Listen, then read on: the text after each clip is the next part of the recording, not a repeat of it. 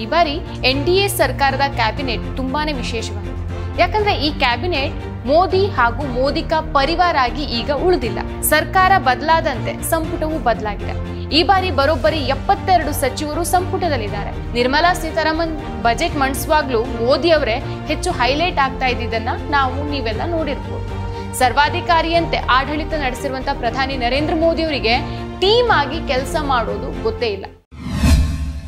ನಮಸ್ಕಾರ, ಈ ದಿನ ಡಾಟ್ ಕಾಮ್ಗೆ ಸ್ವಾಗತ. ನಾನು G M Pavithra. Finally, Narendra ಮೋದಿಯವರು ಅಧಿಕಾರ ಸ್ವೀಕರಿಸೋ ಮೂಲಕ ಪ್ರಧಾನಿಯಾಗಿ ಕಾರ್ಯಾರಂಭ ಮಾಡಿದ್ದಾರೆ. ಈ ಬಾರಿ ಎನ್ ಡಿ ಎ ಸರ್ಕಾರದ ಕ್ಯಾಬಿನೆಟ್ ತುಂಬಾನೇ ವಿಶೇಷವಾಗಿದೆ. ಯಾಕಂದ್ರೆ ಈ ಕ್ಯಾಬಿನೆಟ್ ಮೋದಿ ಹಾಗೂ ಮೋದಿಕಾ ಪರಿವಾರ ಆಗಿ ಈಗ ಉಳಿದಿಲ್ಲ. ಯಾಕೆ ಹೀಗೆ ಹೇಳ್ತಾ ಇದ್ದೀನಿ ಅಂತ ಅಂದ್ಕೊಂಡ್ರೆ ಈಗ ನಿಮ್ಗೊಂದು ಪ್ರಶ್ನೆ ಇದೆ. ಮೋದಿ ಅವರು ಕಳೆದ ಹತ್ತು ವರ್ಷಗಳಿಂದ ಪ್ರಧಾನಿಯಾಗಿ ಕಾರ್ಯನಿರ್ವಹಿಸಿದ್ರು. ಈ ಅವಧಿಯಲ್ಲಿ ಮೋದಿಯವರನ್ನ ಹೊರತುಪಡಿಸಿ ಕ್ಯಾಬಿನೆಟ್ನಲ್ಲಿದ್ದಂಥ ಸಚಿವರ ಹೆಸರನ್ನ ಹೇಳಿ ಅಂದ್ರೆ ನಿಮಗೆ ಎಷ್ಟು ಜನರ ಹೆಸರು ಗೊತ್ತಿರತ್ತೆ? ಎಷ್ಟು ಜನರ ಹೆಸರು ನೆನಪಾಗಬಹುದು? ಒಂದು ನಾಲ್ಕೈದು ಸಚಿವರ ಹೆಸರಷ್ಟೇ ನಿಮ್ಮ ಬಾಯಲ್ಲಿ ಬರೋಕ್ ಸಾಧ್ಯ. ಹಾ, ಬಹುಪಾಲು ಜನರಿಗೆ ಆ ನಾಲ್ಕೈದು ಜನರ ಹೆಸರಷ್ಟೇ ಗೊತ್ತಿರತ್ತೆ. ಯಾಕಂದ್ರೆ ಅದು ಮೋದಿ ಕ್ಯಾಬಿನೆಟ್ ಆಗಿತ್ತು. ಪ್ರಧಾನಿಯವರ ಆಡಳಿತವೂ ಹಾಗೆ ಇತ್ತು.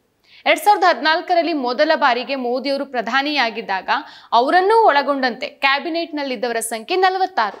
ಬಿಡ್ಸ್ ಹೇಳೋದಾದ್ರೆ ನಲವತ್ತಾರು ಮಂದಿ ಸಚಿವರಲ್ಲಿ ಇಪ್ಪತ್ನಾಲ್ಕು ಕ್ಯಾಬಿನೆಟ್ ಸಚಿವರು, ಹತ್ತು ಸ್ವತಂತ್ರ ಉಸ್ತುವಾರಿ ರಾಜ್ಯ ಸಚಿವರು ಮತ್ತು ಹನ್ನೆರಡು ರಾಜ್ಯ ಸಚಿವರು ಸೇರಿದಂತೆ ಒಟ್ಟು ನಲವತ್ತಾರು ಜನ ಸಚಿವರಿದ್ರು ಇನ್ನು ಎರಡ್ ಸಾವಿರದ ಹತ್ತೊಂಬತ್ತರಲ್ಲಿ ಇದರ ಸಂಖ್ಯೆ ಐವತ್ತೆಂಟಕ್ಕೆ ಏರಿಕೆ ಆಯಿತು. ಎರಡ್ ಸಾವಿರದ ಹತ್ತೊಂಬತ್ತರಲ್ಲಿ ಎರಡನೇ ಬಾರಿ ಮೋದಿಯವರು ಪ್ರಧಾನಿಯಾಗಿದ್ದಾಗ ಅವರ ಸಂಪುಟದಲ್ಲಿ ಇಪ್ಪತ್ನಾಲ್ಕು ಮಂದಿ ಸಂಪುಟ ಸಚಿವರು, ಒಂಬತ್ತು ಸ್ವತಂತ್ರ ಉಸ್ತುವಾರಿ ಹೊಂದಿದಂತಹ ರಾಜ್ಯ ಸಚಿವರು ಮತ್ತು ಇಪ್ಪತ್ನಾಲ್ಕು ಮಂದಿ ರಾಜ್ಯ ಸಚಿವರಿದ್ರು. ಸೊ ಈಗ ಮೂರನೇ ಬಾರಿ ಎನ್ ಒಕ್ಕೂಟದ ಸರ್ಕಾರ ರಚನೆಯಾಗಿದೆ. ಮೋದಿಯವರು ಹ್ಯಾಟ್ರಿಕ್ ಗೆಲುವಿನೊಂದಿಗೆ ಪ್ರಧಾನಿಯಾಗಿ ಅಧಿಕಾರವನ್ನ ಸ್ವೀಕರಿಸಿದ್ದಾರೆ. ಸರ್ಕಾರ ಬದಲಾದಂತೆ ಸಂಪುಟವು ಬದಲಾಗಿದೆ.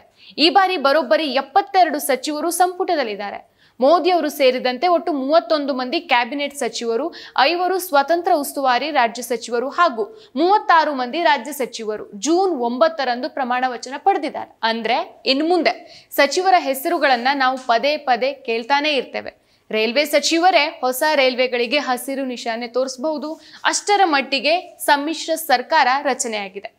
ಯಾಕೆ ಈ ಮಾತು ಹೇಳ್ತಾ ಇದ್ದೀನಿ ಅಂತಂದ್ರೆ, ಈ ಹತ್ತು ವರ್ಷಗಳಲ್ಲಿ ಮೋದಿ ಅವರ ಆಡಳಿತ ಅವಧಿಯಲ್ಲಿ ಯಾವುದೇ ಇಲಾಖೆ ಆಡಳಿತವನ್ನ ಸಚಿವರು ನಡೆಸ್ತಾ ಇರಲಿಲ್ಲ. ಬದಲಿಗೆ ಪ್ರಧಾನಮಂತ್ರಿಯವರ ಕಾರ್ಯಾಲಯವೇ ನಡೆಸ್ತಾ ಇತ್ತು ಅನ್ನೋ ಆರೋಪಗಳು ಸಹ ಇಷ್ಟು ದಿನ ಕೇಳಿ ಬರ್ತಾ ಇತ್ತು. ಅಷ್ಟೇ ಯಾಕೆ? ನಿರ್ಮಲಾ ಸೀತಾರಾಮನ್ ಬಜೆಟ್ ಮಂಡಿಸುವಾಗಲೂ ಮೋದಿಯವರೇ ಹೆಚ್ಚು ಹೈಲೈಟ್ ಆಗ್ತಾ ಇದ್ದಿದ್ದನ್ನು ನಾವು ನೀವೆಲ್ಲ ನೋಡಿರ್ಬೋದು. ಹಾಗೆ ಮುಂದುವರೆದು ಹೇಳೋದಾದರೆ, ಯಾರಾದರೂ ಒಬ್ಬ ಸಚಿವರು ಏನಾದರೂ ಹೊಸ ಐಡಿಯಾ ಹೇಳಿದರೆ ಅದನ್ನು ಸ್ವತಃ ಮೋದಿಯವರು ಎಕ್ಸ್ಪ್ಲೇನ್ ಮಾಡೋದು ಬಿಟ್ಟರೆ ಅದು ಮೋದಿ ಐಡಿಯಾ ಅಂತಲೇ ಬಿಂಬಿಸಲಾಗ್ತಾ ಇತ್ತು. ಹೀಗೆ ಇಡೀ ಒಂದು ಸಂಪುಟವೇ ಬರೀ ಮೋದಿ ಮೋದಿ ಅಂತ ಆಗಿದ್ದನ್ನು ನಾವು, ನೀವು ನೋಡಿರ್ಬೋದು. ಸರ್ವಾಧಿಕಾರಿಯಂತೆ ಆಡಳಿತ ನಡೆಸಿರುವಂತ ಪ್ರಧಾನಿ ನರೇಂದ್ರ ಮೋದಿ ಅವರಿಗೆ ಟೀಮ್ ಆಗಿ ಕೆಲಸ ಮಾಡೋದು ಗೊತ್ತೇ ಇಲ್ಲ. ಅದರಲ್ಲೂ ಪರಸ್ಪರ ಹೊಂದಿಕೊಂಡು ಡೆಮೋಕ್ರೆಟಿಕ್ ಆಗಿ ನಡೆದುಕೊಂಡು ಇಡೀ ತಂಡವನ್ನ ಮುನ್ನಡೆಸೋ ಜಾಯಮಾನ ಮಾನ್ಯ ಮೋದಿಯವರು ಪಾಲಿಸ್ತಾರಾ ಅನ್ನೋದನ್ನ ನೋಡ್ಬೇಕು. ಯಾಕಂದ್ರೆ ಈ ಸಮ್ಮಿಶ್ರ ಸರ್ಕಾರದ ಸಚಿವ ಸಂಪುಟದಲ್ಲಿ ನಾನಾ ಪಕ್ಷಗಳ ಸಚಿವರಿದ್ದಾರೆ. ಅವರೆಲ್ಲರೂ ಸಹ ಸಹಜವಾಗಿ ಸ್ವತಂತ್ರವಾಗಿ ಕೆಲಸ ಮಾಡೋಕ್ ಬಯಸ್ತಾರೆ. ಮೋದಿ ಅದಕ್ಕೆ ಅವಕಾಶ ಮಾಡಿಕೊಟ್ಟು ತಂಡವಾಗಿ ಕೆಲಸ ಮಾಡಬೇಕು. ಹೀಗಾದಾಗ ಮಾತ್ರ ಒಂದು ಮಟ್ಟಕ್ಕೆ ಸಮ್ಮಿಶ್ರ ಸರ್ಕಾರ ಸರಿಯಾಗಿ ನಡಿಬಹುದು. ಹೀಗಾಗದೇ ಇದ್ರೆ ಎನ್ ಡಿ ಎ ಮೈತ್ರಿಕೂಟ ಛಿದ್ರ ಆಗತ್ತೆ.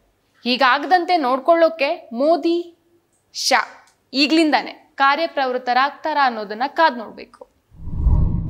ಮತ್ತಷ್ಟು ವಿಶೇಷ ವಿಡಿಯೋಗಳನ್ನು ನೋಡಲು ಮತ್ತು ಹೊಸ ವಿಡಿಯೋಗಳ ಬಗ್ಗೆ ತಿಳಿಯಲು ಈ ದಿನ dot com YouTube channel subscribe ಮಾಡಿ ಮತ್ತು ಬೆಲ್ ಐಕಾನ್ ಕ್ಲಿಕ್ ಮಾಡಿ.